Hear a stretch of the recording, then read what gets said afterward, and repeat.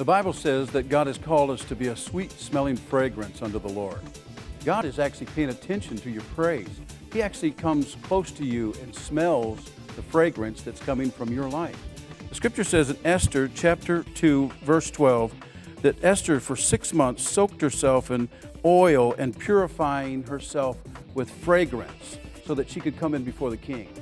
Facts are that you and I, as Christians, are to prepare ourselves daily for an encounter with the Lord, where God comes and visits us, where He comes and enjoys us. And the Bible says that God savoreth the things of the Spirit, that God's looking at the heart. He's not looking at the outward man, He's looking at the inward man.